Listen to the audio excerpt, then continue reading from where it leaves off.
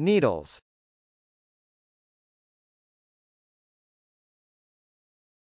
Needles.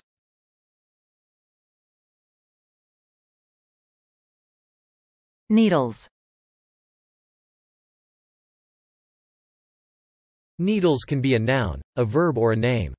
As a noun needles can mean, the plural form of needle. As a verb needles can mean, 1. The present tense form of needle.